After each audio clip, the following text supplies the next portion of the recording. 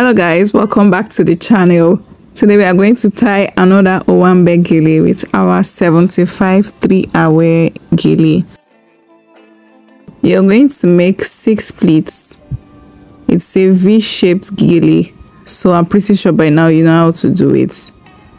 You place in front of your head and you cross to form your v. Then your longer hand you bring it forward again and make the remaining part of the gele. We are in you know easy to do owambe gele styles. The one we did previously on tuesday was um, a less than five minutes gele. This one is a little bit above five minutes but it's very easy to do. It's a ruffles gele so watch carefully. I wouldn't talk much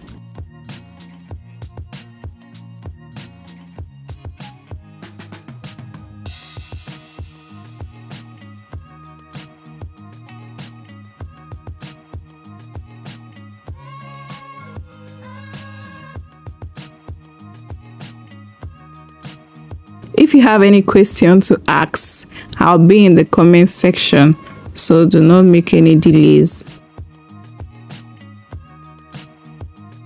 For this particular side, when you're done with your V base and you've taken your longer flap again, you're going to pick four pleats. That's what I'm doing now. Then you move it to the arc of your other brow. Like if you're coming from the left hand side, you're going to stop at the arc of your right brow. Because this ruffles is not going to be in the center it's going to be by the side. So that's what you're going to do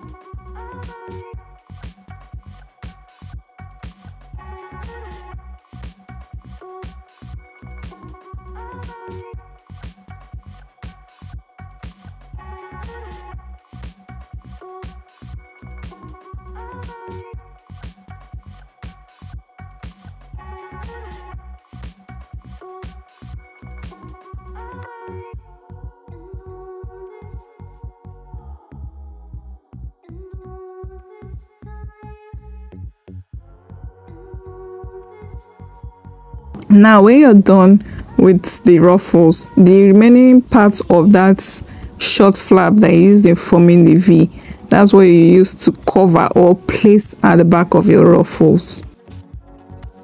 That's what i'm doing right now.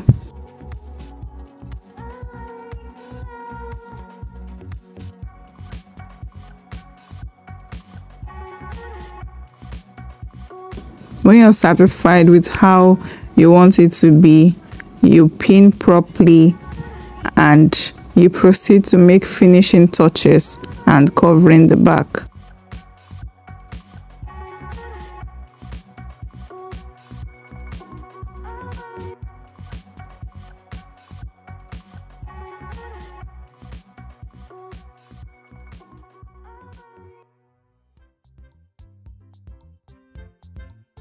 guys please if you're yet to subscribe please do so.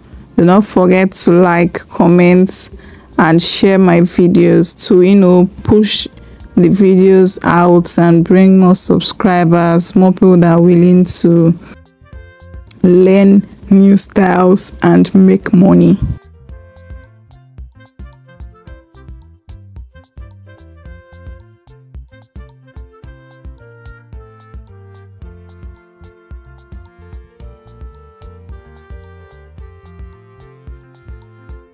we're almost done with our gele i'll see in my next video guys. That one i'm pretty sure it's going to be a five minutes gele or thereabouts so do not go anywhere. Ensure that you're subscribed and turn on the notification bell so that you'll be notified whenever i upload a video